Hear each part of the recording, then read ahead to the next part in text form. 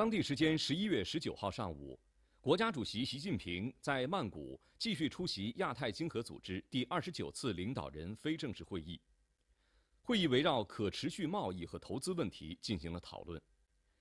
习近平指出，自由和开放的贸易和投资是亚太经合组织的宗旨和原则，也是实现二零四零年布特拉加亚愿景的重要支柱。要坚持真正的多边主义，维护多边贸易体制，坚定维护以规则为基础的多边贸易体制，维护全球产业链、供应链安全稳定。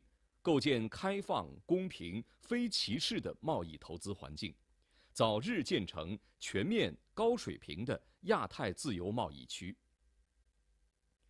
要坚持普惠包容，实现互利共赢；要突出发展的包容性，打造平等协商、共同参与、普遍受益的区域经济合作架构，培育普惠各方的亚太大市场。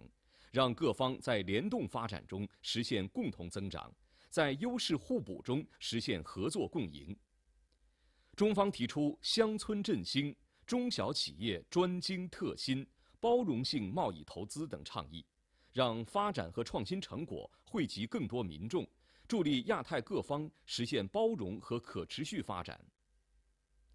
要坚持开放区域合作，共促亚太繁荣。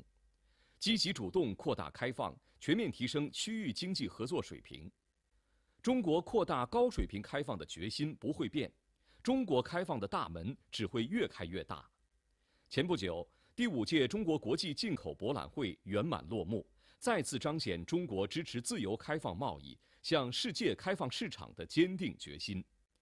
中国将积极扩大优质产品和服务进口。为世界带来更多市场机遇、增长机遇、合作机遇。会议发表了二零二二年亚太经合组织领导人宣言和生物循环绿色经济曼谷目标。王毅参加会议。